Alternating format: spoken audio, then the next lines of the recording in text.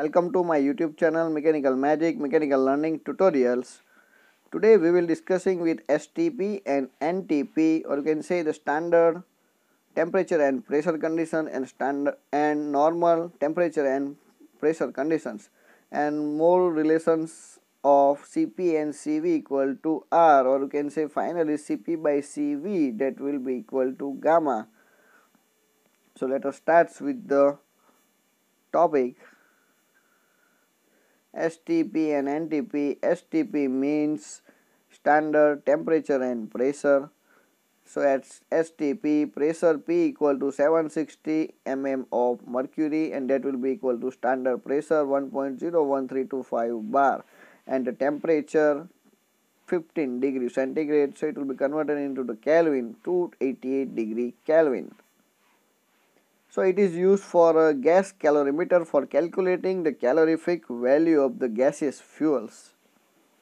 NTP so at NTP pressure P 760 mm of Hg that will be equal to 1.01325 bar and the temperature T is equal to 0 degree centigrade. So it will be approximate 273 degree Kelvin. So it is used for Avogadro's hypothesis theorem characteristic equation for gas. So that equation can be written as PV equal to MRT and you can say at the 1 kg of mass that will be written as PV equal to R into T. So this equation gives the relation between pressure, volume and temperature. The unit of R can be found as follows. So R equal to PV upon M into T. So for unit of the pressure Newton per mm square, volume meter cube, mass kg and temperature in Kelvin. So finally it will be converting into joule per kg Kelvin or you can say kilojoule per kg Kelvin. So for air value of R at normal temperature and pressure can be found as follows. So at NT P, P equal to 1.01325 bar volume of air that will be 0.774 meter cube and T equal to 0 or you can say 273 degree Kelvin.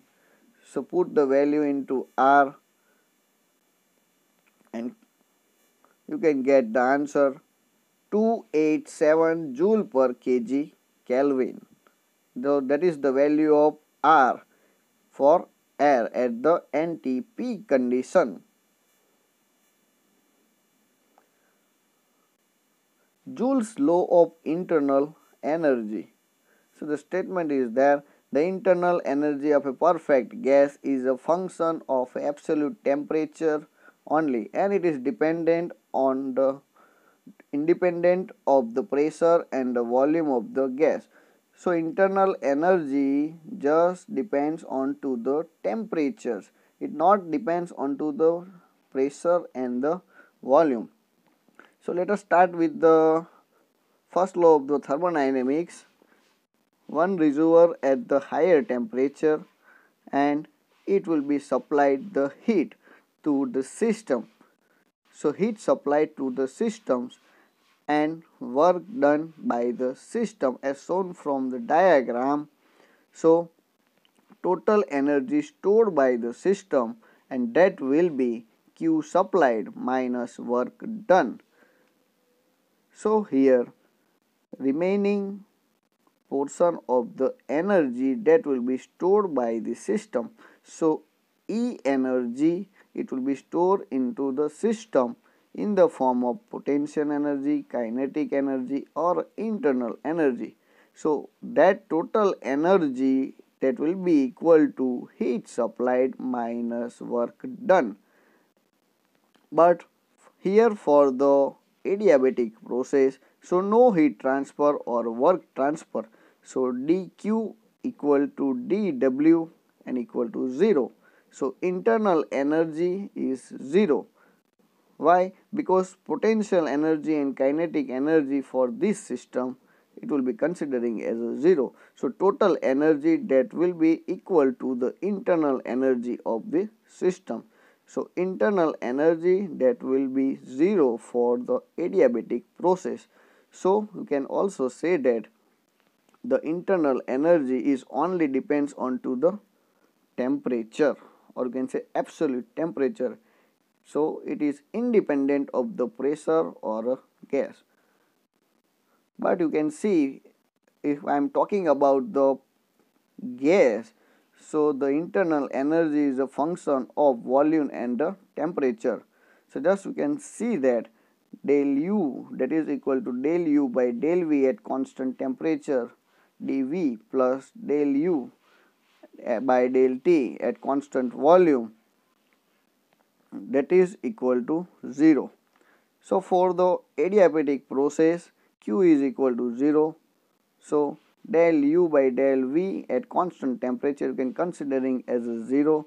So, once again del U that is equal to 0 for the adiabatic process because in adiabatic process totally insulated system. So, there is no heat transfer and no work transfer. So, Q is equal to 0. So, internal energy becomes 0. It means internal energy is directly proportional to the temperature. Or you can say the internal energy is a function of temperature. So, here you can see vessel A and vessel B and vessel A having a P1 temperature, vessel B having a P2 temperatures. P1 is greater than P2. So, without no external work, P1 it will be transferring into the P2. So, two insulated vessels over here. So, it will be considering as a adiabatic process. So, P1 pressure is transforming into P2 pressure. So, for the adiabatic process, internal energy is 0 as early we discussed. So, we can see that internal energy is a function of temperature only. So, pressure P1 in a vessel A is greater than the P2 into the vessel B. Vessels are connected by the pipe and valves. So, valve is open and gas is allowed to expand free without any restrictions as per the law of conservation of the energy change in supply that is equal to store in energy plus work done by the system as earlier we discussed. So, delta Q equal to delta U plus delta W but there is no heat transfer and work transfer on the system to surroundings to delta Q plus delta W that will be equal to 0. So, hence internal energy it becomes 0. So, after the free expansion no change in temperature is observed through the pressure and the volume changes. Thus, changes in internal energy is the function of the absolute temperature and is independent of the pressure and the volume changes. Relationship between characteristics gas constant and two specific heat at constant pressure and constant volume.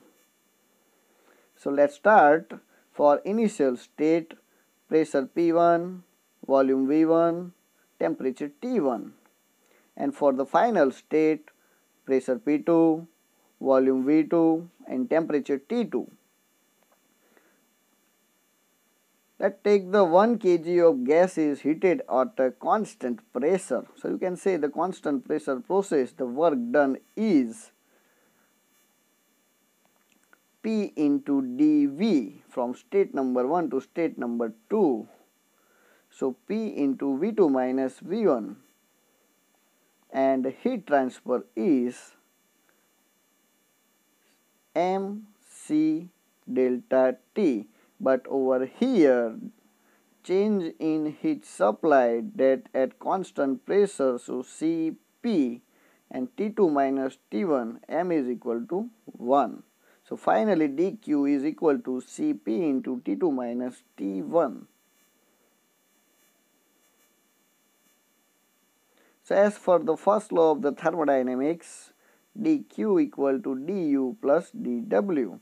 So heat supply that will be equal to work done uh, plus store into internal energy. So du equal to dq minus dw just put the value of dq and dw so du equal to cp into t2 minus t1 minus p into v2 minus v1 that will be the equation number 1 for the constant pressure process.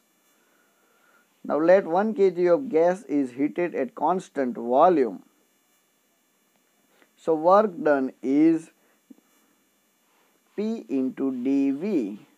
So P into V2 minus V1 that will be 0 because constant volume process V1 equal to V2 and the heat transfer is dq is equal to mcv delta t. That means dq equal to specific volume because constant volume cycle and the temperature difference T2 minus T1. As for the first law of the thermodynamics, dq equal to du plus dw. So du equal to dq minus dw.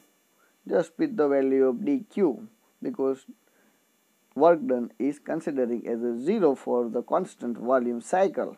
So du equal to Cv into T2 minus T1 that will be representing as equation number 2. Now as per the Joule's law internal energy is a function of temperature only and it is representing as a point function. Thus the equating point number 1 and 2 or you can say equation 1 and equation 2 Cp into T2 minus T1 minus P into V2 minus V1 equal to Cv into T2 minus T1 but PV equal to MRT here is the 1 kg of mass. So PV equal to RT or you can say P V2 minus V1 that will be equal to R into T2 minus T1 so just put the value of P V2 minus V1 in form of R into T2 minus T1. So, Cp T2 minus T1 minus R into T2 minus T1 that will be equal to Cv T2 minus T1. So, here T2 minus T1 is common out and it will be cancelled. So, finally Cp minus Cv that will be equal to R. So, specific heat of constant pressure minus specific heat of constant volume that will be representing as a R. So, let us see some more relations or important relations as per the Cp minus Cv equal to R. So, dividing by equation by the constant volume specific heat or you can say Cv so Cp my upon Cv minus R and that is equal to R divided by Cp. Here Cp minus Cv you can say it will be the gamma function. So gamma minus R equal to R by Cv. From Cp upon Cv that will be representing as a gamma. Just put the value of gamma. So finally you can get Cv equal to R upon gamma minus 1. Dividing equation by specific heat at constant pressure so Cp. So finally you get Cp equal to gamma into Cv or Cp equal to R gamma upon gamma minus 1 mole and mole volumes of the sum of the substance, the values of the Cp, Cv and R for the different gases as follow. So for the S value of Cp 1.0035, Cv 0.7165 and R 0.287. For the hydrogen it will be 14.209 Cp CV 10.085 and R 4.125 oxygen value of Cp 0.9216, Cv 0.6618, R 0.2598 and for the nitrogens value of the Cp 1.0416, value of Cv 0.7448 and R 0.2968. So different values of R for different gases. Thus for uniformity another unit is based use which is called as a kilojoule per mole, kilojoule mole. So thank you very much. Subscribe, like and share mechanical magic, mechanical learning tutorials.